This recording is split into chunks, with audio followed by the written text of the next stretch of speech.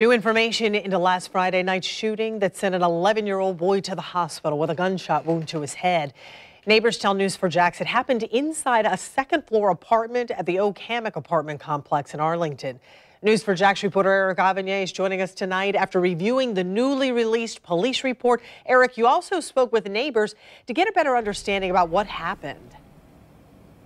Yes, I did. In fact, the neighbor I spoke with agreed to an audio only recorded interview as long as she was not identified. She tells me that when she ran to the apartment to uh, check on the boy who was uh, shot, she says one of his siblings, uh, uh some of her, some of his siblings told her that four teenage boys, all dressed in black, ran out of the apartment just moments after the shot was fired.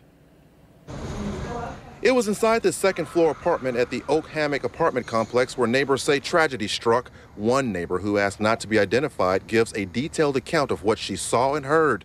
Well, there was one gunfire um, inside of the house. The 11 year old boy got shot in the head. The neighbor I spoke with says she ran to the apartment to help. She says there were several children inside the apartment believed to be the victim's siblings. She also says the victim's mom was in the apartment. And the mother came out the door, was screaming. She was terrified. Um, the other children that was in the house, they was terrified. One came out with a blanket, and his brother got shot in the head. According to this Jacksonville police incident report, the child was unresponsive and taken by ambulance to UF Health. The rest of the police report was heavily redacted, but the neighbor I spoke with says when she spoke to the victim's mom, she says she didn't know how the child got shot, but when she spoke with the victim's siblings, she says she was told other kids were also in the apartment who ran after the gun went off. They described uh, it was four boys dressed in black with a black book bag, um, and they met teens that came out.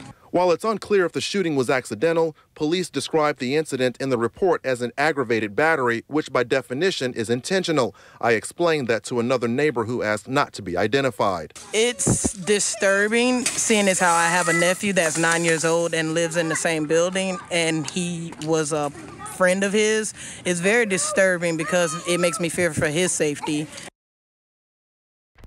When I asked that neighbor how those teenage boys got into the apartment, she told me she didn't know, but she also said that same night uh, she overheard uh, heard uh, the, the boy's mom, uh, or shall I say the victim's mom, telling police that she warned her children, or other, which were the siblings, about uh, letting other people into the apartment. Reporting live, Erik Avanier, Channel 4, the local station.